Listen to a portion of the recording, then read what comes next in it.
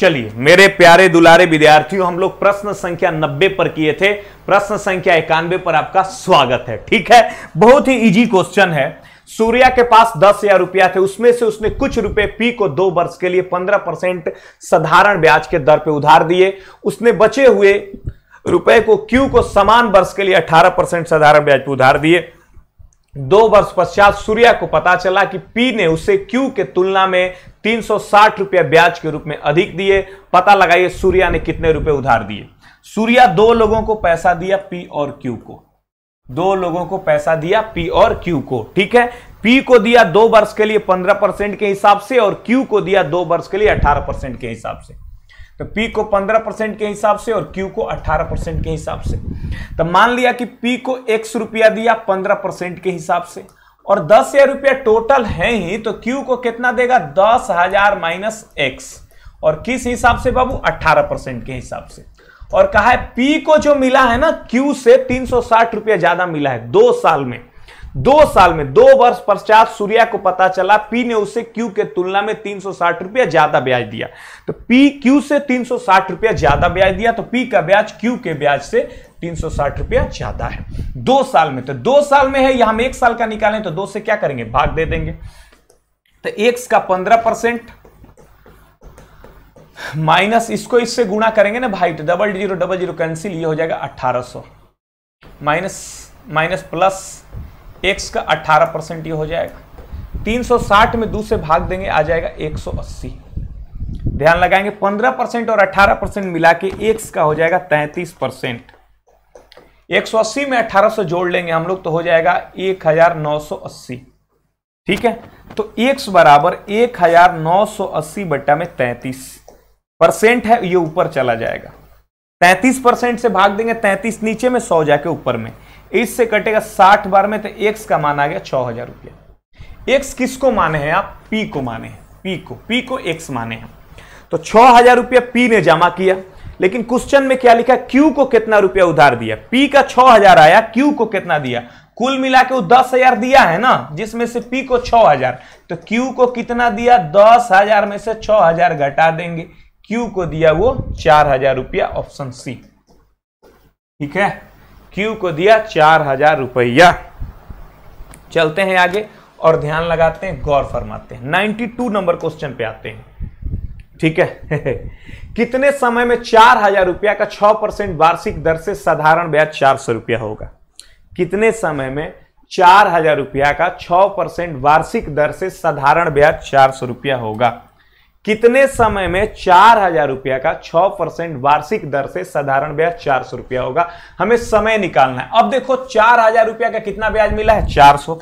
तो हम निकालेंगे कितना परसेंट ब्याज मिला? परसेंटेज ब्याज निकालेंगे। चार सौ रुपया ब्याज मिला भाई, चार हज़ार का। तो सौ का कितना? दस परसेंट ब्याज मिला।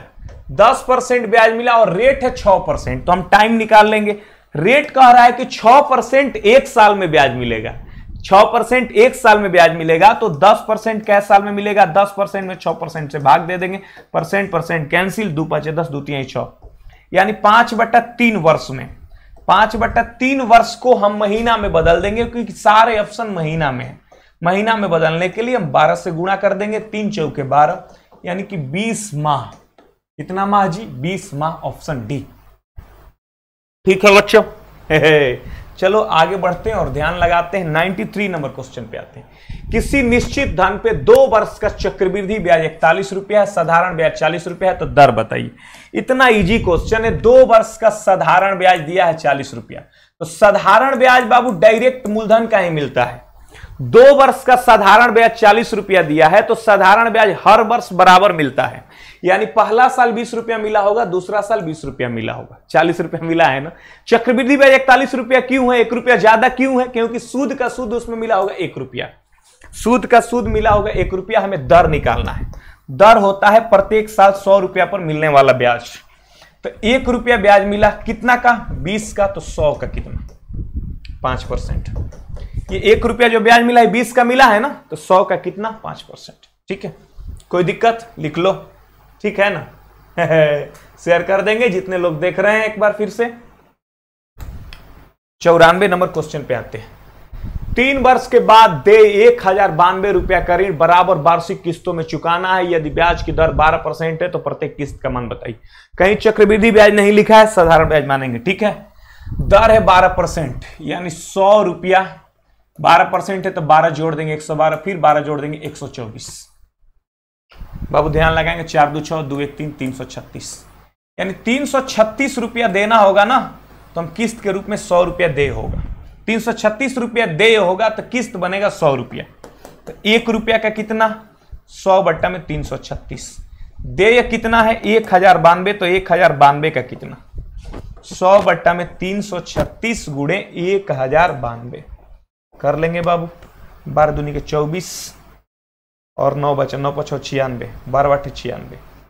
बारह नौ, एक सौ आठ, बारह कम बारह, ठीक है? सात चौके अट्ठाईस और सात से कटा तेरह बार में। और चार से कटा पच्चीस बार में। पच्चीस तीन, पचहत्तर के पाँच हाथ में लगा सात, पच्चीस से कम पच्चीस से पच्चीस, सात बत्तीस, तीन सौ पच्चीस रुपया। किन्हीं बच्चों को कोई दिक्कत? बहुत ही अच्छा क्वेश्चन था। जब भी इस तरह क्वेश्चन है क्या करना? सौ, एक सौ बारह, एक सौ चौबीस जोड़ देना। नेक्स्ट पंचानवे। एक आदमी चार हज़ार रुपया को तीन वर्षों के लिए चक्रवृद्धि ब्याज पर लगाता है। एक साल बाद धनराशि इतना हो जाती है, तीन साल का मिश्र धन कितना होगा? तीन साल का हमें मिश्रधन निकालना है मेरे प्यारे विद्यार्थियों। चार हज़ार रुपया जमा किए हैं, तीन वर्ष का चक्रवृद्धि ब्याज निकालना है। एक साल के बाद इतना होता है, ये हमें पता है। एक साल के बाद इतना होता है, हमें पता है। यानी चार हज़ार रुपया एक साल में हो जाता है, तैतालीस सौ बीस रुपया। यानी एक साल में कितना गुना हो रहा है? तैतालीस सौ बीस बट्टा में चार हज़ार गुना।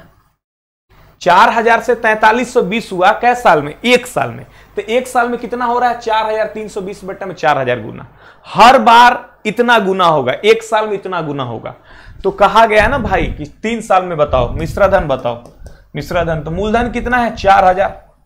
और हर बार में ये होगा चार सौ बत्तीस बट्टा में चार सौ गुना। हर बार में। तीन बार करना है।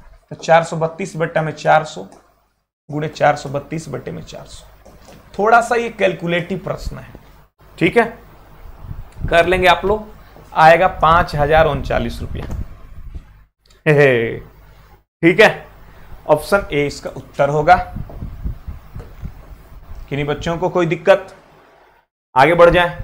नेक्स्ट। 96 नंबर क्वेश्चन पे आते हैं। एक टेप रिकॉर्डर का नगद मूल्य पैंतीस सौ रुपया है। एक टेप रिकॉर्डर का नगद मूल्य पैंतीस सौ रुपया है। एक हज़ार रुपया के पहले आंशिक और नगद शेष तीन बराबर सरल किस्तों में बेचा गया। यदि साढ़े बारह परसेंट चक्रवृद्धि ब्याज पर लगाया जाता है तो किस्त का देय बताइए, किस्त का देय बताइए। ठीक है?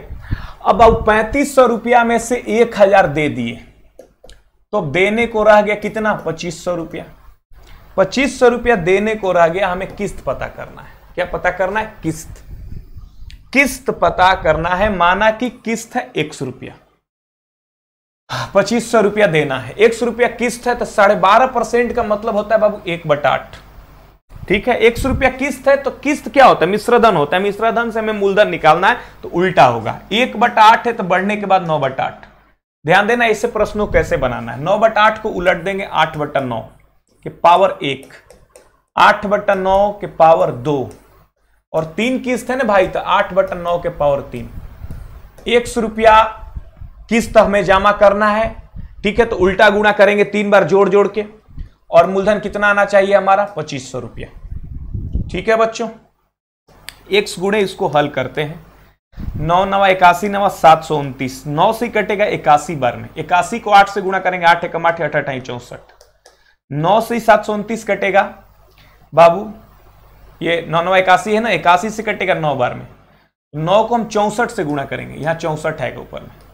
नौ चौके छत्तीस के छह, हाथ में लगा तीन, नौ छौ का चौवन तीन संतावन समझ में आ रहा है ना? क्योंकि इक्यासी हो गया, ये सात सौ उनतीस हो गया, नौ बार में कटेगा। और इक्यासी से ये सात सौ उनतीस से सात सौ उनतीस कट जाएगा, ये हो जाएगा पाँच सौ बारह, बराबर पच्चीस सौ। थोड़ा सा कैलकुलेटिव है बच्चों, ध्यान लगाएँगे और गौर फरमाएँगे। एक जस के तस ये तीनों को जोड़ देंगे। आठ छः चौदह, दो, सोलह के छः हाथ में लगा एक, चार, सात, ग्यारह, एक, बारह। चार, सात, ग्यारह, एक, बारह, एक, तेरह हाथ में लगा एक। ठीक है? छ पाँच, ग्यारह, पाँच, सोलह, एक हासिल, सत्रह। सात सौ उनतीस, पच्चीस सौ। ठीक है? तो बाबू एक्स का मान क्या हो जाएगा? पच्चीस सौ गुणे सात सौ उनतीस बटे में सत्रह सौ छत्तीस। अब इसको हल करना है हमें, ठीक है। चलिए, बहुत कैलकुलेशन है, इसको करना आप लोग। इसका उत्तर आएगा एक हज़ार उनचास दशमलव आठ पाँच। कोई कोई क्वेश्चन दे देता है थोड़ा सा कैलकुलेटिव। बनाने का तरीका आप सीख चुके हैं। किसी बच्चों को कोई दिक्कत? ठीक है? जितने लोग देख रहे हैं, एक बार शेयर कर देंगे और आगे बढ़ते प्रश्न संख्या 97 के दो वर्ष के लिए 20 परसेंट वार्षिक चक्रवृद्धि ब्याज पर पी रुपया उधार लेता है? ब्याज की देय इतना रुपया है तो पी का मान बताइए। पी का मान बताइए। भाई, ब्याज दिया गया है, हमें मूलधन निकालना है। मूलधन निकालना बहुत आसान होता है। 20 परसेंट को भीन में लिख लो, एक बटा पाँच। जब भी मूलधन निकालना हो, ब्याज दिया हो, मूलधन निकालना हो तो मूलधन मानना पड़ेगा। मूलधन क्या मानेंगे उसके लिए रेट को भीन में लिख लो। भीन में लिखने के बाद नीचे में देखो, नीचे में क्या है? पाँच है, टाइम है दो साल। टाइम दो साल है तो पाँच का स्क्वायर पच्चीस मान लो। मूलधन क्या मान लो? पच्चीस। पच्चीस का बीस परसेंट पाँच होगा, बीस परसेंट पाँच होगा, पहला साल पाँच मिला, दूसरा साल पाँच मिला। हमने मूर का सूद ले लिया, सूद का सूद बाकी है तो पाँच का बीस परसेंट एक हो जाएगा। ठीक है? अब टोटल ब्याज दिया है बावन सौ अस्सी। रेशियो में टोटल ब्याज हो गया ग्यारह। ग्यारह का मान है बावन सौ अस्सी। भाग दे देंगे ग्यारह से बावन सौ अस्सी में बाबू। ध्यान लगाएँगे, गौर फरमाएँगे, ये कितना हुआ? ग्यारह चौके चौवालीस, ग्यारह अठाई चार सौ अस्सी गुना। हमें मूलधन निकालना है, मूलधन है पच्चीस, इसमें चार सौ अस्सी गुना कर देंगे। पच्चीस अठ दो सौ हाथ में लगा बीस। पच्चीस चौके सौ और बीस, एक सौ बीस। यानी बारह हज़ार रुपये आ चुका हमारा मूलधन। Option D. बाबू, सुगा, सोना, धन।